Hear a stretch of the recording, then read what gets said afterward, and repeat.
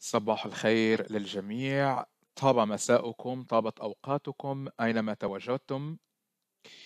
شكرا لانضمامكم إلينا الآن في هذه الجلسة لإطلاق مجموعة أدوات تطوير برنامج الأطفال المرتبطين بالقوات المسلحة والمجموعات المسلحة.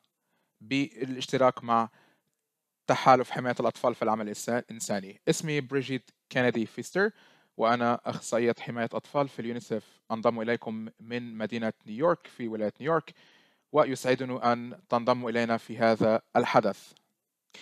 ما يزال بعض الأشخاص ينضمون إلينا. مجددا أرحب بالجميع في هذه الفعاليات. يسرنا جدا أن نقدم لكم مجموعة أدوات تطوير برنامج الأطفال المرتبطين بالقوات المسلحة والمجموعات المسلحة. سأقدم لمحة عامة عن جلستنا اليوم. سينضم إلينا السيد هاني منصوريان أحد رؤساء تحالف حماية الأطفال في العمل الإنساني يقومون بعمل واسع في حماية الأطفال بما في ذلك فرقة عمل المعنية بالأطفال المرتبطين وهي أحد الداعي أحد الداعمين لهذه لمجموعة الأدوات هذه. سيكون أيضا لدينا آه، كلمة عن وصف لهذه لمجموعة الأدوات هذه مع السيدة ساندرا منيان وحديث آه، عن العراق وتجربتهم في تجربة هذه مجموعة الأدوات هذه ميدانيا. وسيكون سيتنسن لنا الفرصة لطرح بعض الأسئلة والأجوبة. أريد أن أذكر الأشخاص الذين الذين انضموا إلينا للتو. تتوفر لديكم خدمات الترجمة الفورية. باللغات الإسبانية والفرنسية والعربية. الساعة الآن التاسعة وأربع دقائق. سأقدم سأعطي الكلمة الآن للسيد هاني منصوريان ليقدم كلمة افتتاحية حول دور تحالف الأطفال في العمل الإنساني في مجموعة الأدوات هذه. شكرا جزيلا لك بريجيت. شكرا لكل من عمل على تنظيم هذه الفعاليات. وشكرا لجميع المشاركين لإطلاق مجموعة الأدوات هذه. في عام 2020 تحدث الأمم المتحدة أن أكثر من 805 500 طفل تم إشراكهم في المجموعات المسلحة وهذا ارتفاع كبير في هذه النسبة وهي ليست لا تقتصر فقط على البلاد التي تشملها الأمم المتحدة. للأسف فإن هذه الأرقام ترتفع مقارنة مع السنوات الماضية وهذا يسلط الضوء على أهمية مجموعة الأدوات التي نطلقها اليوم. هذه الوثيقة تردم هوة مهمة بتقديمها لمبادئ توجيهية تساعد المجموعات والمجتمعات للاستجابة لمشاكل الأطفال الذين يتم إجبارهم على الانضمام إلى المجموعات المسلحة. وأيضا آه، تساعد هذه مجموعة الأدوات الممارسين والمزاولين ومصممي البرامج على تقديم المهارات ودورات البرامج ليتم استخدامها من الموظفين مقدمة أمثلة عملية في على نحو يمكن التعامل معه بسهولة. واستخدامه بشكل هام وفعال. بالنسبة لأهم هذه العناصر في المبادئ التوجيهية التي تقدمها مجموعة الأدوات أريد أن أتحدث عنها اليوم آه، تتمثل في مسألة منع أو مسألة الوقاية التي تقدم هذه الوثيقة. إن الوقاية من آه، عمل الأطفال في المجموعات المسلحة كجزء من الاستجابة وإعادة دمج الأطفال في المجتمع تزيد من قيمة أهمية هذه المجموعة نظرا لأهميتها. كنت أفكر آه، قصة أحمد أحد زملائنا أحمد من شهباء في سوريا. في 2012 كان عمره 12 عاما. اضطرت عائلته للهرب من مدينتهم بسبب الحرب. ولكن آه، قرر أحمد أن يتعلم من إخوته واضطر أن يترك المدرسة وذهب إلى مخيم لجوء في 2015 عندما ذهب إلى عاد إلى المدرسة بدأ من الصف السابع. ولكن كان ذلك صعبا عليه لأنه اضطر أن يتعلم من جديد. لم يرد أن يجلس في صف مع آه، طلاب من عم من أصغر من عمره. آه، كان يرغب في العمل لكن فرص العمل لم تكن متوفرة. وكان كل يوم يفكر في الانضمام إلى أحد إحدى المجموعات المسلحة. لكن لحسن الحظ التقى ب أو كان هناك مجموعة أو منظمة غير حكومية محلية أطلقت برنامج لمساعدة الأطفال على آه، منعهم من الانضمام للمجموعات المسلحة. نشأ أحمد في الانضمام إلى هذا البرنامج وأكمل تعليمه حتى تخرج من هذا البرنامج. كان أحمد على قريبا من أن ينضم إلى هذه المجموعات المسلحة. ولكن للأسف هناك الكثير من الأطفال الذين لم يحالفهم الحظ للانضمام إلى برنامج تنمية مثل, مثل ذلك وذهبوا إلى المجموعات المسلحة. ولكن آه، هذه البرامج يجب أن تلتزم مع الأطفال وتبدأ بوضع استراتيجية واضحة. للأسف لم يكن لأحمد أن يمر بهذه المشكلة. لو كانت مجموعة أدوات مثل مجموعة الأدوات التي نطلقها اليوم متوفرة. أريد أن أتشكر زملائنا في اليونيسف لدعمهم والمنظمات الحكومية وغير الحكومية وفرقة العمل وأعضائها الذين ساهموا في مجموعة الأدوات هذه في شتى المراحل.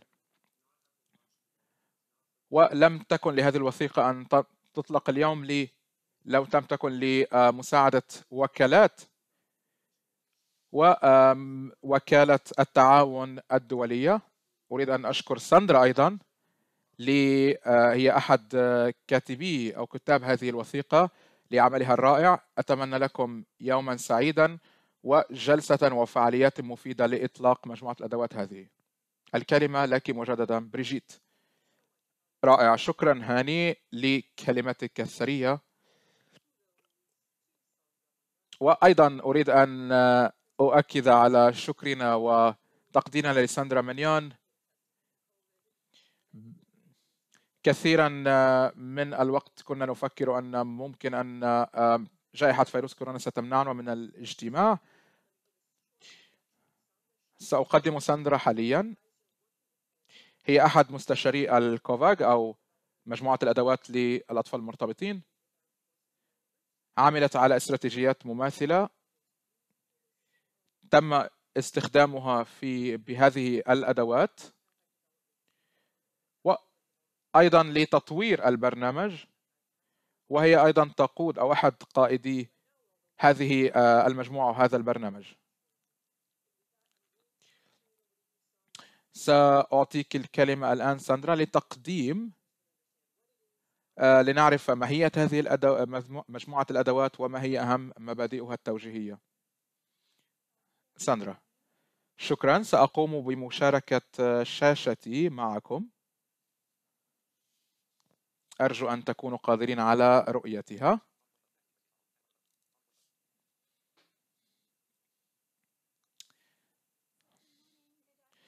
صباح الخير. مساء الخير للجميع. يسرني أن أرى أشخاص أعرفهم وأحبهم. لانضمام لبرنامج أو مجموعة أدوات تطوير برنامج الأطفال المرتبطين بالمجموعات بالجماعات والقوات المسلحة. تم تطويرها تحت قيد إدارة اليونيسف ومجموعة التخطيط الدولية بلان انترناشونال في مجموعة الأدوات هذه هناك موارد عديدة. ستجدون مبادئ توجيهية حول تصميم برامج حماية الأطفال من المجموعات المسلحة. هناك موارد تدريبية إرشادات وعروض ومعلومات أيضا وبعض الأدوات لوضعها في سياق المنطقة أو البلد الذين تعملون فيه. تم تجربتها في أربعة دول أربعة بلدان بوركينا فاسو جمهورية كونغو الديمقراطية وأفغانستان جزئيا وفي العراق. في كل من هذه الدول قمنا بتنفيذ آه، تحليل سياق وخمسة أيام من التدريب مع المزاولين وقمنا بتقديم الدعم الفني عن بعد. تضمن تحليل السياق آه، منهجيات متعددة مثل تحليل المخاطر تحليل القائم على المساواة بين الجنسين تحليل الجهات المعنية وكيفية وضعها في السياق. مما مكن الممارسين من كسب فهم حول حالة الأطفال وتوظيفهم والاتجاهات التي يتبعها مجموعات المسلحة وأيضا التحديات التي يواجهها الأطفال عندما يتم إعادة دمجهم في المجتمعات. هذه لمحة عامة عن إطار آه، مجموعة الأدوات. كما قال هاني فهي تتبع خطوات بدءا بخلفية أو معلومات أساسية حول كوفاج أو حول مجموعة الأدوات وبرنامج الأطفال ما هي آه، عوامل المخاطر الأدوار وأيضا معلومات حول الإطار القانوني. لقد طلب ذلك تحديدا من الممارسين الذين شاركون شاركوا في الدراسة الاستقصائية التي أطلقناها قبل بداية مجموعة الأدوات هذه. قمنا بسؤال أكثر من 200 من الممارسين المهنيين الذين يعملون مع الأطفال المشتركين المرتبطين في المجموعة المسلحة. ما هي الأشياء التي يريدونها أن يروها في مجموعة الأدوات؟ قالوا نريد أن نعرف معلومات عن الإطار القانوني ولتبسيط لمن لا يعرف الكثير عن الأدوات القانونية. قمنا ب قمنا بتبسيطها بشكل كبير. ثانيا تحليل السياق التي آه، تضمنت ثلاثة ثلاث مراحل تخطيط الجهوزية والتنفيذ. في هذه الخطوات هناك موارد وتدريب آه، حول كيفية جمع المعلومات والبيانات وترميزها وتحليلها. أما الخطوة الثالثة تتركز على التخطيط الاستراتيجي. بالنسبة لي هذه أهم هذه الخطوات في هذه المجموعة. هنا نقوم بإرشادكم في حول كيفية أخذ هذه البيانات ووضعها في سياق وترجمتها إلى برامج حقيقية. هنا يمكنكم أن تتعلمون تتعلموا كيف آه، حول آه، الوقاية تحديد هوية الأطفال المتضررين المشتركين وإعادة دمجهم. وأيضا هناك موارد حول رصد مجموعة الأدوات وتنفيذها ومؤشرات لقياس الإطار التنفيذي. أيضا هناك موارد حول كيفية التخطيط للموارد وتطوير أو وضع إعداد ميزانية.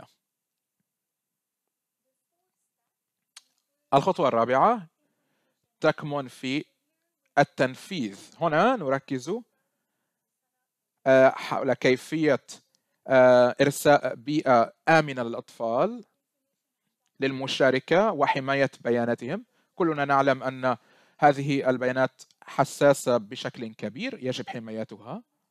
وأيضا فيما يخص رصد تنفيذ برنامجكم بما في ذلك آه، آلية تقديم معلومات مرتجعة خاصة بالأطفال وموارد حول توظيف وتشغيل والتنسيق مع الأطراف الأخرى الفاعلة المشتركة في البرامج.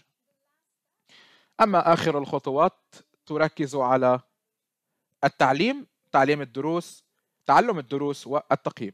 هنا نشجع الممارسين آه، بتوثيق عملهم. هناك الكثير من المبادرات المثيرة للاهتمام حول برامج أخرى ودروس مستفادة حول كيفية العمل مع الأطفال وحول وكيف نرتبط نترابط مع الأطفال لكن يجب أن نقوم بتوثيق هذه البرامج وهذه المعلومات لكي يتسنى لنا جميعا أن نتعلم. أخيرا التقييم.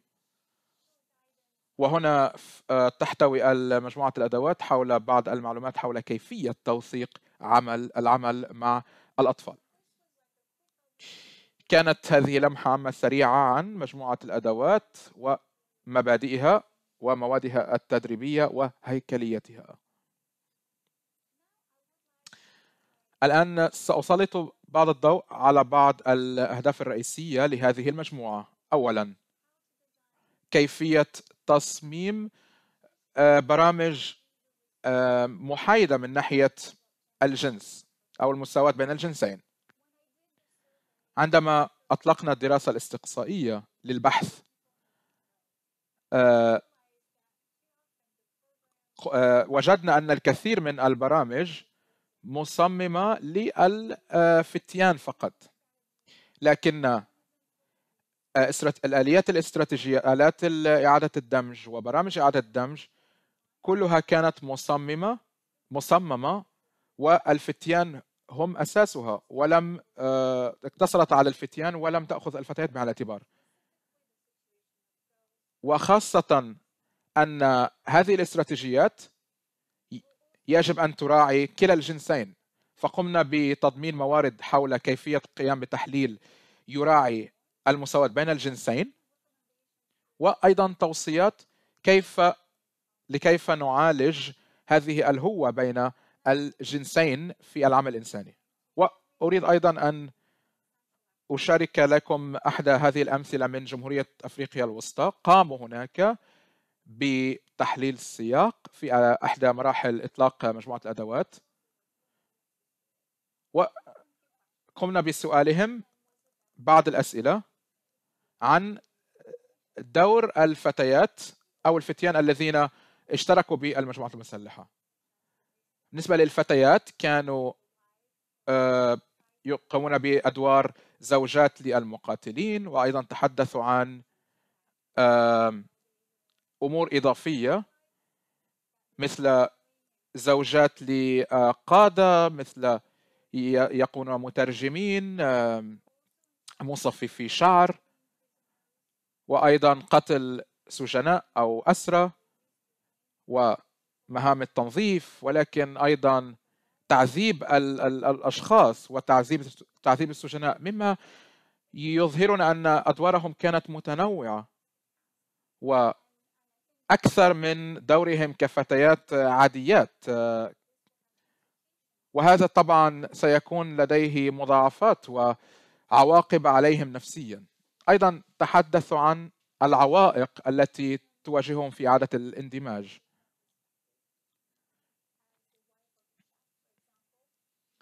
على سبيل المثال كانت لديهم مسؤوليات استلموا بعض الأمور لمساعدتهم على إدارة أمورهم النسائية. ولكن كان يملأهم الخوف لأن كانت لديهم أفكار في أنهم لما عندما يعودون إلى المجتمع لن يتقبلهم المجتمع.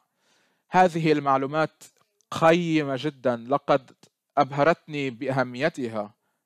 كيف لنا أن نفهم هذه المعلومات؟ وكيف لنا أن نستخدمها في وضع البرامج بغية تسهيل وتشجيع ومنح الوسائل لهذا لهؤلاء الأطفال لإعادة اندماجهم في المجتمع، ليس فقط الفتيان بل أيضا الفتيات.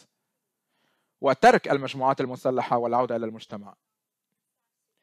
مثل آخر من جنوب السودان في 2017 كان هناك حوالي واحد بالمئة من هؤلاء الفتيات اشتركوا مع المجتمعات المسلحة. آه، تم تغيير أفكار كيفية تحديد الأطفال. آه، وقاموا برفع عدد الفتيات الذين آه، هربوا من المجموعات المسلحة من 1% إلى 35% وهذا آه، يظهر لنا كيف أهمية آه، كيف هي أهمية إشراك الفتيات ليس فقط الفتيان في هذا في مثل هذا العمل. عندما تكون البرامج محايدة من ناحية الجنس آه، ولكن ستكون أفضل وتجنبنا أن نترك الفتيات وراءنا. العنصر الثاني من هذه المجموعة الأدوات هي المقاربة التشاركية. وهنا نتحدث عن آه، آه، تحليل السياق التي تشرك الرجال والنساء والفتيان والفتيات من المجتمعات وأيضا الأطفال السابقين الأطفال المرتبطين بالمجموعات المسلحة السابقين. وهنا أريد أن أشدد على أهمية إشراك الأطفال في هذه الدراسات. عادة ما عادة ما نتجاهل دور الأطفال أو إشراك الأطفال مباشرة. لماذا؟ لأننا نخاف أن نضرهم أو نؤذيهم أو نؤثر على نفسيتهم. لا نريد أن نسبب لهم أي ضرر. لكن في الحقيقة إذا أخذنا وقتنا ووضعنا الضمانات ووسائل الحماية وتدريب الأشخاص من أجل تحديد هوية الأطفال وأخذ البيانات بشكل آمن يمكننا عندنا أن عندها أن نقوم بهذا بشكل آمن. فإن البيانات التي نجمعها من الأطفال مباشرة تكون أكثر قيمة. أفضل بكثير من المعلومات التي نجمعها من الناضجين أو البالغين عن هؤلاء الأطفال. في هذه المجموعة هناك آه، معلومات وبيانات مجموعة من مقابلات مباشرة مع الأطفال. حلقات عمل مصغرة. آه، وتدابير حول كيفية القيام بالمقابلة مع الأطفال أو بسؤال الأطفال بشكل آمن وكيف لنا أن نحصل على المعلومات منهم بشكل آمن. وأيضا قمنا بإعداد مؤشرات آه، حساسة ثقافيا أو تراعي الحساسية الثقافية للتحدث مع الأطفال. وهنا نتحدث عن مؤشرات آه، عدد مثل عدد الأطفال آه، الذين تركوا المجموعات وعدد الأطفال الذين تم إعادة دمجهم. ماذا يعني الاندماج أو إعادة الاندماج في المجتمع؟ هل هذا يعني أن الأطفال لا يعملون مع المجموعات آه، بعد انضمامهم إلى المجتمع من جديد؟ طبعا تختلف السياقات من بلد إلى آخر. كيف لهم أن ينجحوا في عملية إعادة الاندماج؟ قمنا بسؤال الأطفال. ما هي أولوياتهم؟ ماذا يعني إعادة الدم؟ ماذا تعني إعادة الدمج لديكم؟ فقمنا بوضع المعايير لقياس هذه قياس هذه المؤشرات. دعوني آه، أتحدث عن بعض هذه المؤشرات لتساعد على وضع البرامج. أولا الوقاية. في جمهورية أفريقيا الوسطى قمنا بسؤال آه، بسؤال عن عوامل المخاطر تحدثوا عن رغبة آه، حصول أطفال على الاحترام رغبتهم لحماية أنفسهم وأسرهم تأمين احتياجاتهم الأساسية الطعام خروجهم من المدارس تركهم للمدارس. وهذه يمكن معالجتها من أجل آه، الوقاية من انضمامه إلى المجموعات المسلحة. بالنسبة لتسريحهم في أفغانستان على سبيل المثال قمنا بتوثيق آه، لن أخفي عليكم كانت عملية التسريح في أفغانستان صعبة للغاية. فلمن نجحوا في التسريح فقاموا فاستفادوا من الدعم المجتمع والأسر لكن اضطروا الأسر والمجتمعات للتفاوض مع رؤساء أو قادة المجموعات المسلحة أنفسهم. هذه المعلومات يمكن أن تساعد تساعدنا وتساعدكم على كيفية إدارة مسألة التسريح. بالنسبة لإعادة الدمج آه، نتحدث عن بوركينا فاسو هنا هنا. قمنا بسؤال بسؤال المجتمع ما هي الأشياء التي تقوم به تقوم بها لدعم الأطفال لإعادة اندماجهم في المجتمع؟ 21% من أعضاء المستقصين أو قالوا أن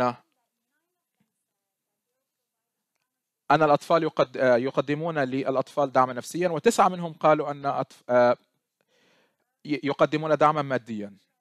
نعم يمكن الاستفادة من هذه من هذه وسائل الدعم هذه لتعزيز ما هو موجود أيضا. من ناحية البرامج لتساعد الأطفال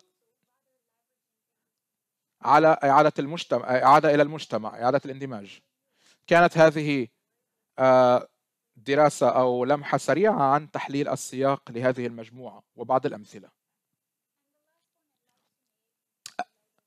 أخيرا أريد أن أتحدث عن أهم هذه العناصر. آه، في الدراسة ومجموعة الدواء هي السياق أو وضعها في السياق. كل بلد يختلف عن بلد آخر وهذه المجموعة تقدم لكم إطارا آه، ينبغي أن تقوموا أنتم بتسييقها وضعه في سياق.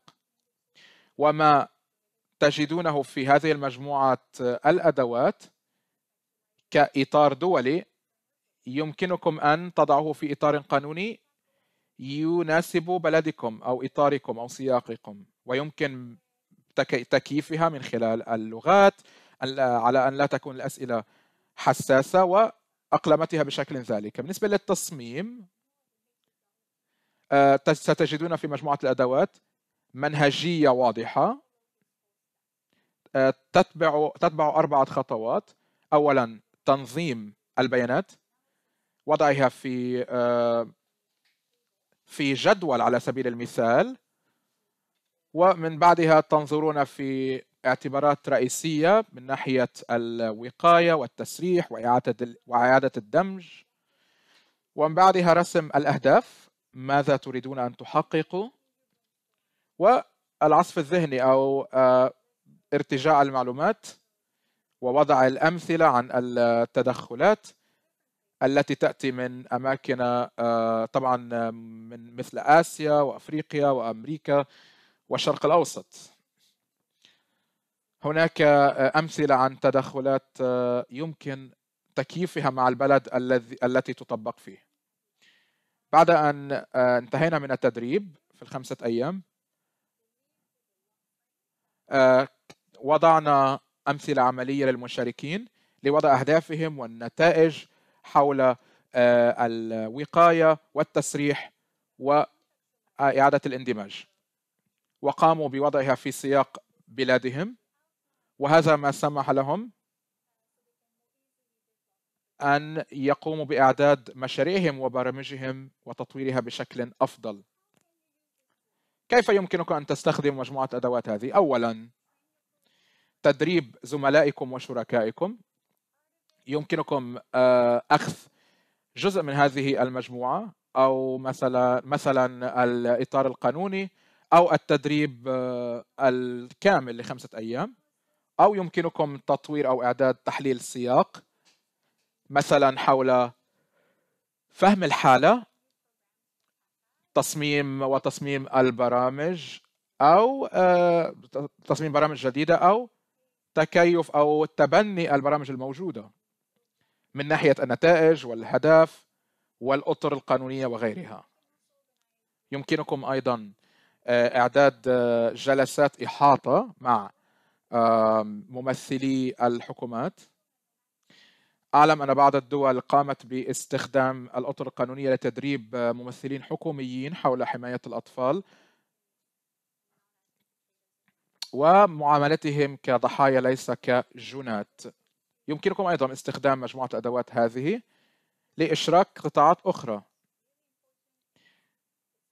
لا يمكنني التشديد أكثر من ذلك على أهمية إشراك القطاعات قطاعات أخرى ومن وبذلك يمكنكم الدفاع ومناصرة قضايا الأطفال مع القطاعات الأخرى.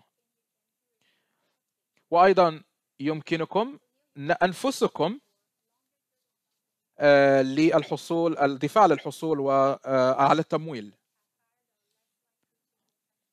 آه، يمكن لهذا التمويل أن يكون على المدى الطويل. يمكنكم أيضا المطالبة بالتمويل للمساواة بين الجنسين لإعادة أو لإقامة تحليل السياق. Triple maxis أو ذلك يعني أن الأطراف الإنسانيين أو الأطراف العمل الإنساني والأطراف المشتركين في الحفاظ على السلام يعملون مع بعضهم لحماية الأطفال وتسهيل إعادة دمجهم.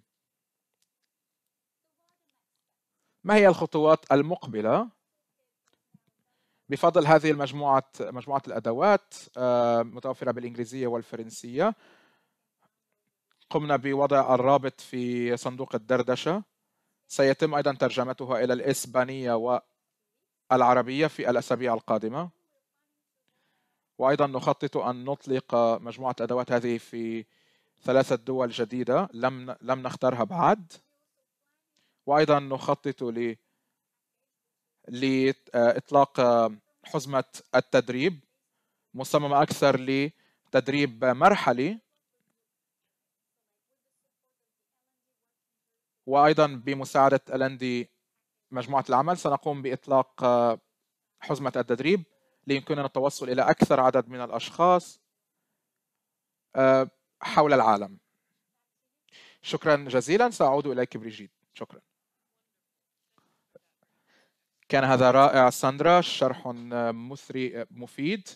وأتمنى أن تكون هذه المعلومات مفيدة للزملاء.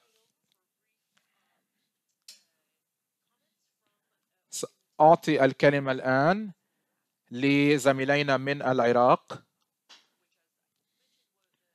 كما ذكرت ساندرا تم آه، تجربة آه، مجموعة الأدوات ميدانيا في العراق. نبراس يوسف من يونيسف العراق أخصائي حماية أطفال. وسيمون شيكولين من تاغديزوم آه، منسق تقني. في دائرة العدل. نبراس وسيموني الكلمة لكما. شكرا بريجيت. هل يمكنكم أن تسمعوني؟ نعم. شكرا. صباح الخير للجميع. يسعدني أن أكون معكم.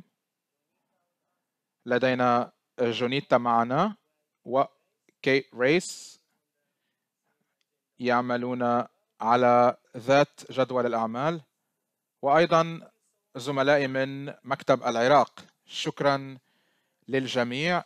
يشرفني ويسرني أن آه، مكتب العراق قام بدعم آه، هذه مجموعة الأدوات وإطلاقها ويسعدنا أن كان آه، تم اختيارنا. سأركز اليوم على تحليل السياق. مع زميلي سيموني حول سيتحدث هو عن إطار القانوني. سأركز أكثر أنا على تحليل السياق. ما هي التقييم الذي آه، استلمناه تلقيناه والدروس المستفادة من هذه التجربة. دعوني أجد آه، العرض أو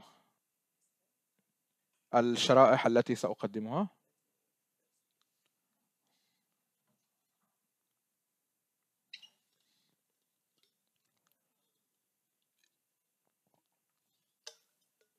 ما زلت أبحث عن آه، من أين سأبدأ؟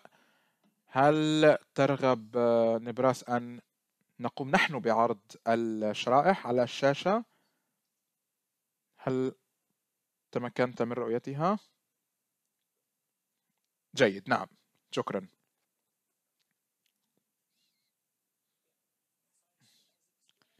كما قمت بالشرح شرفنا أن نشارك لسوء الحظ فإن لم تكن ساندرا قادرة أن تشارك في العراق أن تكون في العراق لنختتم ورشة العمل معا. أيضا قمنا بالاشتراك في التنسيق في هذه المجموعة. تعلمنا الكثير. كان مفيدا لنا جميعا أن نكون أحد الأطراف المساعدين في إعادة الاندماج. كخلفية أساسية عن التجربة قامت مجموعة العمل الخاصة بالأطفال المرتبطين بالمجموعة بالقوات المسلحة والجماعات المسلحة بدعم من المقر الرئيسي. قمنا بالمشاركة في جمع البيانات مع اليونيسف و Child UK و Holland Alliance قمنا بوضع بعض هذه المنهجيات التي أخذناها منهم. مركزين على المساواة بين الجنسين كما تحدثت آه، ساندرا. على أيضا قمنا بالتركيز على الجهات المعنية والعمل واستشارة أطفال سابقين وكان ذلك أمرا هاما بالنسبة لنا. مشاركة الأطفال أنفسهم أردنا أن نسمع منهم أكثر من أي شيء آخر حول تجربتهم وكيف عانى لهم العمل مع القوات والجماعات المسلحة المسلحة وما كانت الخطوات لتحديد هوية الأطفال وتسريحهم وإعادة دمجهم في المجتمع. إن هذه الأدوات قمنا باستخدامها لإدارة النقاشات. كان أحدها أونلاين عن طريق الإنترنت والأخرى في آه، شكل شخصي بمشاركة 48 طفل. بأكثر من 39 مشاركا و كانت آه، حكومات هذه البلاد متضررة من الأطفال ولكن أيضا آه، نتحدث هنا عن مدن مثل نينوى وأنبار وبابل والموصل. هذه مقاطعات آه، مثل سنجاب وعشيقة وتلكيف والفلوجة والمحمودية أيضا مدن شهدت تجنيد الأطفال مع القوات والجماعات المسلحة. هذه بعض البيانات التي آه، استقيناها من الأشخاص الذين شاركوا من رجال ونساء وفتيان وفتيات. كما ترون فإن عدد الفتيات عدد عدد آه، ضئيل مقارنة مع باقي الفئات الجنسية. طبعا ذلك نظرا للحساسية آه، الثقافية والحساسية الثقافة في العراق. فإن لبعض الفتيات التجنيد يعني لهم ليس بالتحديد المشاركة في المعارك لكن ما زلنا نرى معلومات عن تجنيد الفتيات في سياق مشاركتهم مع هذه المجموعات. بشكل مختلف من مجموعة مسلحة أو من جماعة مسلحة إلى أخرى. هنا نرى أن كيف تم تجنيد الأطفال عن طريق في مجموعات المسلحة في جماعات المسلحة ومن أس أهم أسباب ذلك ضغط الأسر أو أعضاء الأسر الذين أيضا الذين هم جزءا من بعض الجماعات المسلحة مما يشجع أقاربهم الأطفال على الانضمام و هناك أيضا أسباب أخرى تتمثل في ضغط أصدقائهم عليهم أو أصدقاء آه، في نفس العمر شاركوا في الجماعات المسلحة. وذلك كان كان ذلك محفزا لهم. بعضهم أيضا تضرروا من الفتاوى الدينية فلمن يعلم فأن في في ذلك الوقت كان هناك سيطرة للدولة الإسلامية. كان هناك فتوى من أحد القادة الدينيين يسمح للأطفال المشاركة في الجماعات المسلحة. بعضهم يريدون أخذ الثأر ردا على من قتل لهم في صراعات أو أفراد أسرة أفراد أسرة تم قتلهم. وهذا ما يحفز الأطفال على الانضمام طوعيا لتفريغ غضبهم. مما يشجعهم على الانضمام إلى القوات المسلحة. هناك أيضا طرق أخرى يقوم الجماعات المسلحة بتشجيعهم وتحفيزهم عن طريق الأموال والأسلحة. فتكون النتيجة انضمام الكثير من الأطفال المحفزين وينضمون إلى الجماعات المسلحة للأسف. هنا نتحدث عن مخاطر عوامل المخاطر أو التي تسبب مخاطر انضمام الأطفال إلى الجماعات المسلحة وهي تكمن في افتقاد آه، فرص التعليم والعمل خاصة في المناطق المتأثرة بالصراعات. عدم وجود وفرة الفرص الاقتصادية فيلجأ الأطفال إلى الانضمام آه، الأطفال المتهربين أو التاركين للمدرسة يفتقدون للتعليم إغراء الأموال كما تكلمنا سابقا آه، أخذ السأر والعقلية المتطرفة الأفكار والأفكار الدينية المتطرفة. فنرى أن بعض الجماعات المسلحة أكثر تطرفا من الأخرى. آه، لا ننسى الضغط النفسي وخوف الأطفال من رد المجموعات المسلحة أو الانتقام منهم. يريدون أن يحموا أنفسهم عبر الانضمام آه، إلى هذه الجماعات خوفا من آه، انتقامها منهم. بالنسبة للفتيات تقريبا نفس الأسباب. الخروجهن من المدرسة. بحثهن عن فرص التعليم والضغط النفسي والأصدقاء السيئين. هذه كانت آه، أهم عوامل الخطر أو المخاطر التي تؤثر على الفتيات والفتيان. هنا أيضا بعض آه، وسائل الحماية أو عوامل الحماية التي تحدثنا بها مع الأطفال آه، اكتساب مهارات آه، قدرات على اتخاذ القرارات عذرا. آه، التحدث عن مستقبلهم وطموحاتهم. ما يريدون أن ينجزوه. تحدثوا عن تلك الأمور خلال المقابلات والنقاشات التي قمنا بها مع الفتيان والفتيات. هنا أريد أن أشاركك أشارك معكم عن موضوع التسريح في سياق العراق. قد تختلف عن البلدان الأخرى. كلنا نعلم أن البرنامج السابق لكوفاك كان آه، هناك عملية إعادة تسريح رسمية وغير رسمية من الجماعات المسلحة والقوات المسلحة في العراق. بعد هذه الجماعات لم تكن لم تكن هناك إعادة آه، تسريح آه، عمليات تسريح رسمية. وهذا ما أثر برفع مخاطر الحماية. على سبيل المثال بالنسبة للدولة الإسلامية في العراق لم يكن هناك آه، آه، فعاليات أو مراسم رسمية لتسريح الأطفال لأن الصراع انتهى بشكل مفاجئ وانتهى الأطفال المطاف بالأطفال بالسجن ببعض الأطفال في السجن.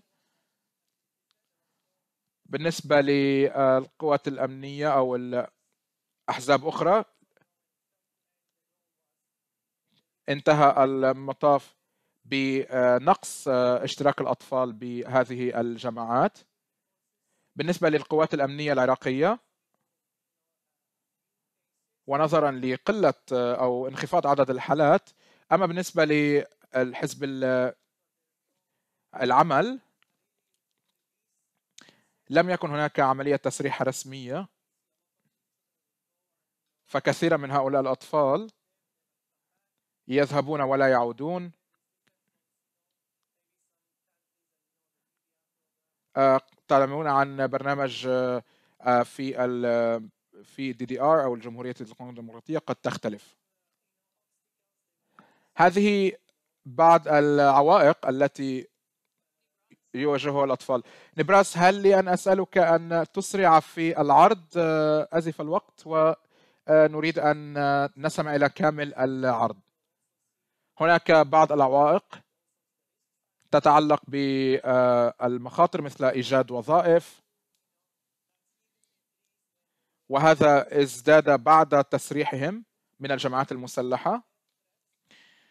تهديدات بالقتل التي وصلت إلى اسرهم خوفهم من التشرد. وفقدان الاموال وصمة العار أو ما يواجهونه في المجتمع طبعا بحسب الجماعة المسلحة التي انضموا إليها. في بعض الأحيان ينظر ينظر إليهم كأنهم أبطال وبعض الأحيان الأخرى ينظر إليهم على كأنهم عار على المجتمع. الدروس المستفادة. أعتقد أنه من الهام إشراك الأطفال ليتحدثوا عن أنفسهم بلغتهم. ما هي آه، على سبيل المثال ما هي المخاطر ما هي التجربة التي واجهوا؟ كما ذكرت ساندرا فما إذا كانوا هؤلاء الأطفال ما زالوا جزءا حتى لو لم يكونوا يشاركون فعليا آه، لكن ماذا عن التأثير النفسي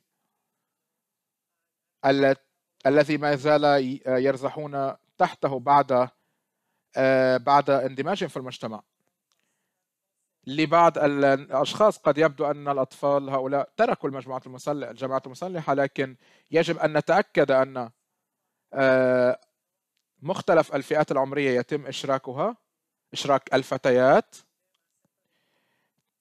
التفريق بين الفئات العمرية وأيضا تدريب الميسرين لإدارة هذه العملية بشكل جيد. وكما ذكرت ساندرا رأينا هذه التفاصيل في مجموعة الأدوات. كيف نحدث توازنا بين عدم إيذاء الأطفال نفسيا وضمان مشاركتهم في التدريب؟ وبنفس الوقت إرشاد آه، الميسرين والمزاولين على كيفية القيام بذلك. و آه، لم تكن ساندرا معنا في البلد لكن كانت معنا خطوة بخطوة. وكما ذكرت أيضا كل ذلك في مصلحة عدم ذهاب الأطفال أو لجوء الأطفال إلى الجماعات المسلحة. هذا كان كل ما أردت قوله.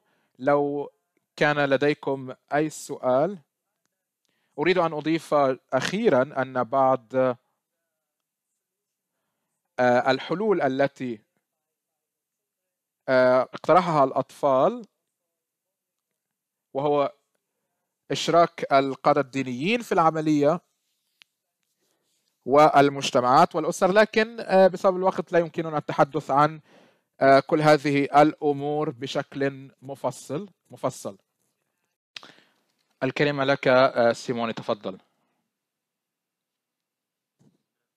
شكرا نبراس شكرا ساندرا شكرا لليونيسف والتحالف لإشراكنا في آه، تطوير هذه المجموعة. آه، يسرنا ونفتخر لنكون جزءا من تطوير هذه المجموعة وأريد أن أشكر اليونيسف والتحالف للتواصل مع الشركاء المحليين. أهم النتائج الأولية التي نحن نفتخر بها هي العملية التشاركية نفسها. نقدر التشارك والمشاورة مع الشركاء والدعم التقني. لقد كانت العملية أو تجربة في العراق إيجابية للغاية بفضل التنسيق الكبير. وكما ذكر نبراس فأن الدعم كان متواصلا خلال العملية. وقام بتطوير القدرة التقنية التي وظفتها اليونيسف في العراق. وبفضل مساعدة المنظمات الأخرى. شعرنا أيضا أن آه، إشراك الشركاء المحليين كان مهما لتحليل السياق بدءا بالمائدة المستديرة مع الأطفال وحلقات العمل والتدريب. وكان التنسيق تشاركيا بشكل كبير طور من قدراتنا في هذه العملية. وأيضا أسرني الإندماج أو التشارك بين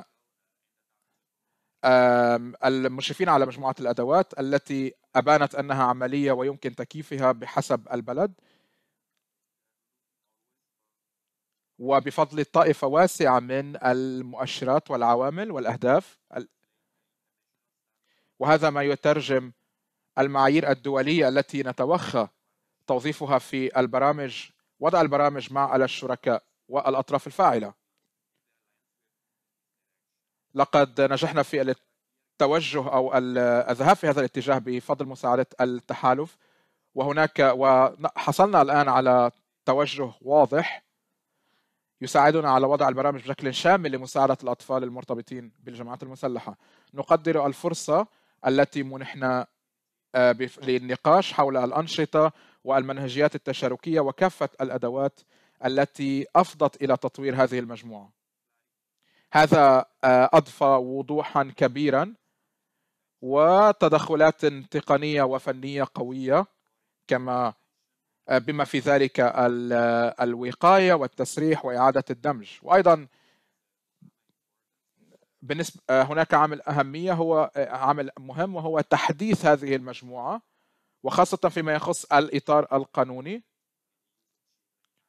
لكيفية تأطير آه، استخدام مثل المعلومات بشكل قانوني.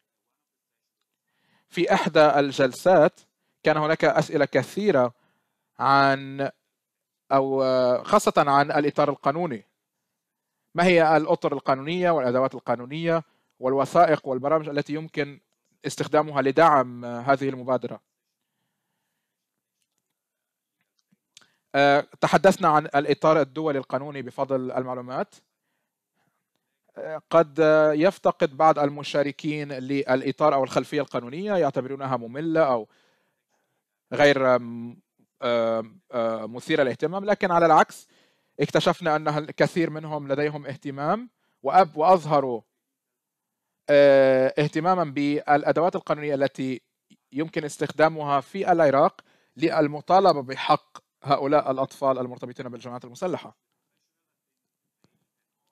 كان التدريب عالي رفيع المستوى على كافة الصعد آه، خاصة فيما يخص المنهجيات المستخدمة وتقديم آه، الدعم العملي وكيفية آه، تحويل هذا الدعم إلى وقائع عملية. قمنا بتسليط الضوء على الروابط كيف نربط بين الأطر القانونية وتنفيذ هذه البرامج.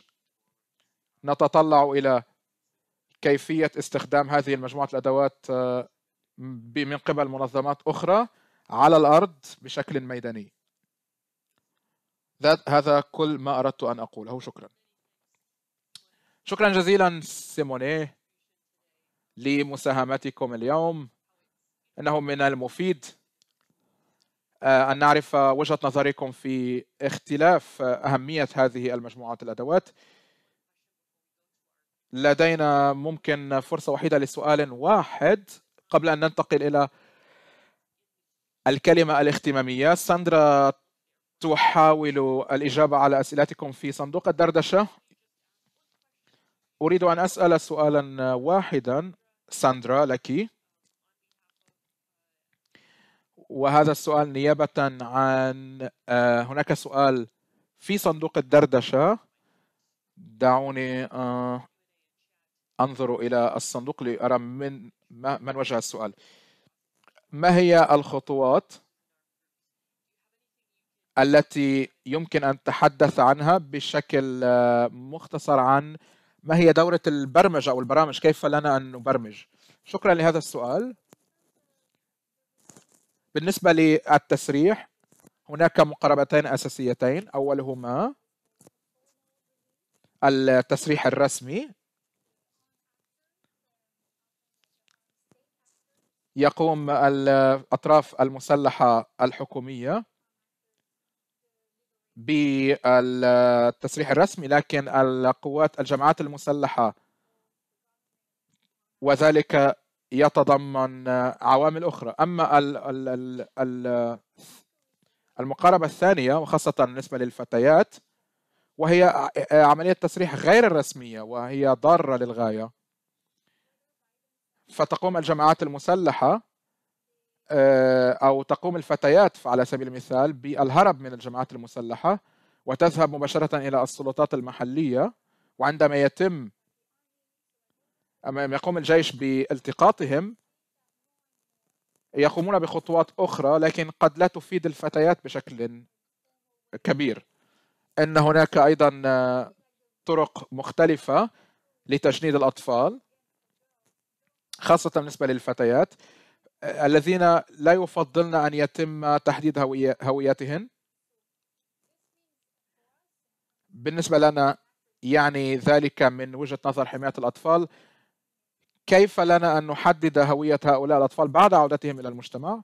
يجب أن نشرك آليات مجتمعية هنا لحماية الأطفال من مجتمعاتهم ومن نظرة مجتمعاتهم وإيجاد طرق أخرى مع مقدمي الخدمات وتدريبهم من أجل تحديد هوية الأطفال بشكل آمن. هناك طرق مختلفة يجب أن نعدها في هذا المجال. شكرا جزيلا. ساندرا. وشكرا جزيلا لكافة الزملاء نبراس ساندرا سيموني وهاني لكلماتكم. سأقدم الكلمة لديبي لانتس من وكالة الإعداد أو وكالة التطوير الدولي التنمية الدولية الأمريكية. هناك رابط آه، حول معلومات إضافية في صندوق الدردشة. لمنصة إلكترونية يمكنكم التواصل من خلالها مع ساندرا وأعضاء المسؤولين عن مجموعة الأدوات. يمكنكم أيضا استكشاف كيف لبلدكم أو برنامجكم الخاص المشاركة أو التقديم للمشاركة في المرحلة القادمة من مجموعة الأدوات. شكرا جزيلا للجميع. سأعطي الكلمة لدبرا دبرا لامتس الممثلة لبرنامج التنمية الأمريكية الأمريكي ووكالة التنمية الدولية الأمريكية. شكرا جزيلا لدعمكم. وشكرا لعملكم المفيد المثري الذي أثرى إطلاق هذه المجموعة. الكلمة لك دبي. شكرا. مرحبا للجميع. يسرني أن أكون معكم اليوم. نحن متحمسون لإطلاق هذه المجموعة. نشكر بلان انترناشونال واليونيسف والتحالف وكافة الأشخاص المشتركين لإطلاق هذه المجموعة. هناك الكثير من الأطفال في العالم مشتركون مع مشتركون في الجماعات المسلحة. ونريد أن نتأكد أنهم يحصلون على الرعاية المناسبة. وأيضا نعلم أن هناك عمليات مناسبة يجب القيام بها للاستجابة بشكل فعال. هنا نتحدث عن طبيعة الاستجابة طبيعة الصراعات كيفية انضمام الأطفال هل هم فتيان أو فتية؟ وهناك أيضا عوامل أخرى تؤثر في هذا المجال. نتيجة لذلك نعلم أن بعض هذه المقاربات غير فعالة ويجب الحص... أن نعد مقاربات أفضل لحماية هؤلاء الأطفال. قامت وكالتنا بالعمل مع شركاء ودعم شركاء آخرين لإيجاد طرق لمساعدة هؤلاء الأطفال. أيضا استمعنا من شركائنا من مجتمعات حماية الأطفال. أن بعض هذه المجتمعات تفتقد للأدوات ويسرنا أن هذه المجموعة الأدوات تحتوي على أدوات مفيدة ومهمة. خاصة فيما يخص المقاربة الاجتماعية والنفسية وجمع البيانات وهذا لا يؤثر بشكل إيجابي فقط على البرنامج ولكن إدارته وتوثيقه بعد ذلك. بعد تجربة هذه المجموعة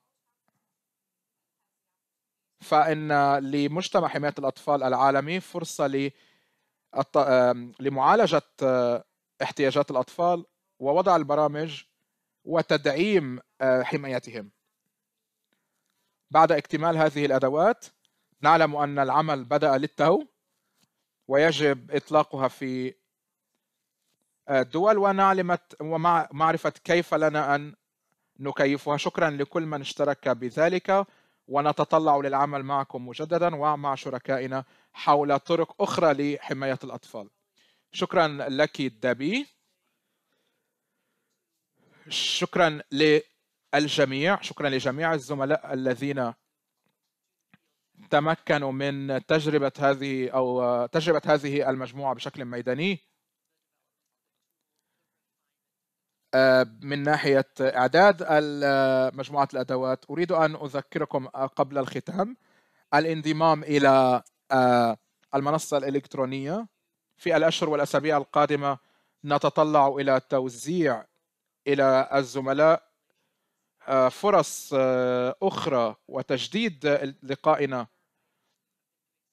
وأيضا يمكنكم الاطلاع على أدوات أخرى ك على سبيل المثال حول آه، الناحية النفسية أو الصحة النفسية للأطفال المرتبطين بالجماعات المسلحة. أيضا هناك موارد أخرى يمكنكم آه، الحصول على إجابات لأسئلتكم أسئلتكم.